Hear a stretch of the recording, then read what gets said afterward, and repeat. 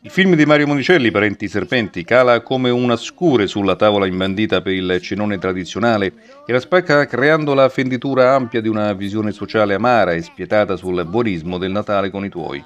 Commedia corale interpretata da Paolo Panelli, Saverio, Pia Velsi, Trieste, Alessandro Haber, Alfredo, Marina Confalone, Lina, insieme a Cinzia Leone, Gina, Monica Scattini, Milena, Renato Cecchetto, Filippo, Eugenio Masciari, Alessandro, Tommaso Bianco, Michele.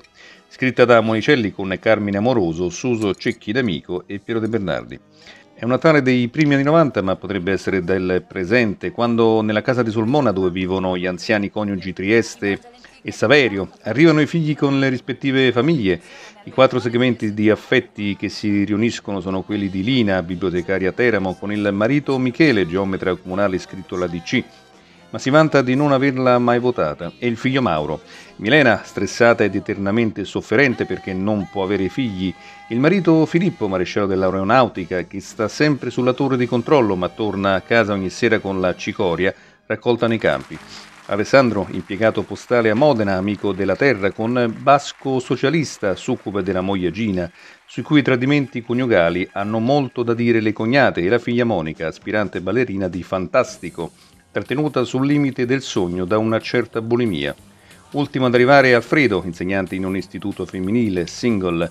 L'io narrante che ci presenta i luoghi e i personaggi è il nipotino Mauro, Riccardo Scontrini.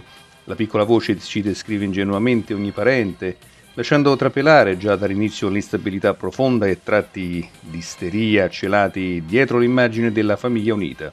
Le frasi che pronuncia ci fanno intendere caratteri e problemi del rettilario domestico. Lei è la mia mamma, soffre di colite ulcerosa e dice che è colpa del lavoro, di mio padre e anche mia. Il nonno, che è stato appunto carabiniere da qualche anno, ha cominciato a soffrire un po' di memoria. Raccontandoci dettagliatamente i difetti di ognuno ci fa scoprire piano piano la miseria umana di tutti. L'innocenza della voce infantile fa da cornice alla prima parte, descrivendo la famiglia che si ritrova in atteggiamenti di facciata e subito si incammina tra i luoghi comuni, i pregiudizi e pettegolezzi del più comune repertorio della vita in provincia, perdendosi tra scandalismo e senso del pudore, dai costumi sessuali dell'avvocato Caccioppolo alle fattezze di Ornella Muti, lo squillo di una campanella porta improvvisamente il silenzio nella casa. Trieste corre alla finestra, coprendosi il capo con un velo, le luci vengono spente. Passa la processione di Natale sotto casa ed il suono della campana ricorda tutti i figli che devono baciare la mano ai genitori.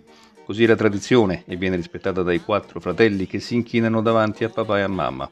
Nel buio della sala da pranzo, ripresa da fuori attraverso i vetri appannati dal gelo, si accende ed infiamma tutto il calore affettuoso dell'annuale presepe di famiglia. Rompere il silenzio religioso e portare altri banali contributi ai discorsi della tavola è sempre la televisione, il medium che forma le opinioni in famiglia, con le prodezze del portiere Zenga, protagonista di una improbabile partita trasmessa in diretta il 24 dicembre. Con realismo feroce Monicelli dipinge gli atteggiamenti comuni ad una qualsiasi famiglia italiana.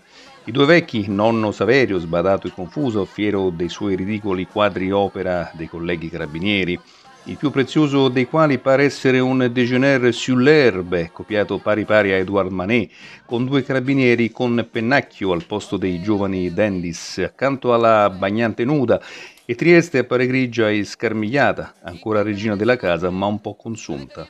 Poveri Saverio e Trieste, lui affetto dai primi segni di demenza senile, lei ancora tanto energica da muovere in giro per la casa l'antico braciere per scaldarne gli ambienti. Sono alla disperata ricerca dell'affetto che solo i figli sanno dare, o per meglio dire che solo i figli si crede sappiano dare, unici personaggi ad essere portatori di sentimenti veri e a provare ancora fiducia gli uni negli altri, i soli a non essere contaminati da invidie e gelosie. Dopo aver assalito con coltelli e forchetti il cenone, sbranando cibi e mettendo tra le mandibole anche qualche conoscente, i bravi figli di mamma scendono a divertirsi giocando con la neve. Poi arriva l'ora della messa di mezzanotte e tutti vanno non prima che Trieste abbia convinto Saverio a togliersi l'alta uniforme di carabinieri. Savè, so vent'anni che sta in pensione,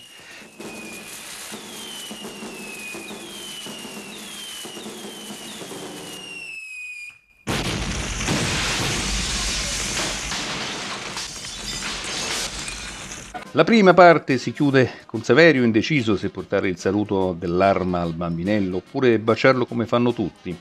opta per entrambi gli omaggi. La seconda parte del film, come il secondo atto di uno spettacolo teatrale, si apre durante il pranzo di Natale. Nonna Trieste comunica ai figli il desiderio e la necessità di andare a vivere con qualcuno di loro, non importa chi. L'importante è non rimanere più soli, evitando l'ospizio.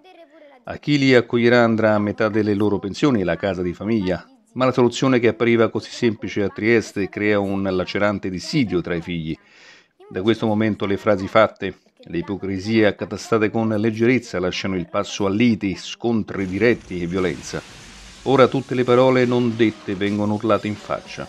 Le risse continuano per giorni, parenti si riuniscono continuamente tra insulti e rivelazioni come il coming out forzato di Alfredo che non può prendersi cura dei genitori perché convive da dieci anni con Mario, di mestiere vigilantes, la via d'uscita non si trova. Nessuno dei figli è disposto a vivere con i genitori.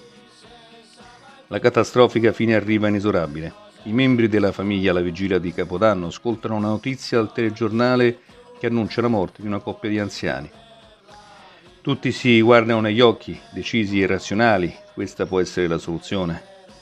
Sarà sempre la voce del nipotino che legge il tema sulle vacanze di Natale in classe a rivelare il crimine commesso svelando l'ultima delle tante bugie, la più orribile.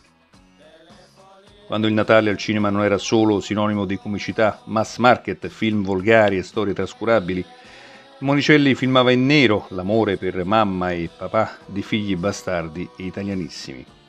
La metafora natalizia amplifica la visione cinica che il grande regista della società italiana una morale anarchica che non ha alcuna fiducia nell'istituzione famiglia. La famiglia è appunto solo un'istituzione, come può esserlo l'arma dei carabinieri, ed il suo album di famiglia è una rappresentazione finta, come le grottesche raffigurazioni dei pittori carabinieri di nonno Saverio. Il miglior Natale del cinema italiano è il Natale senza speranza di Bonicelli.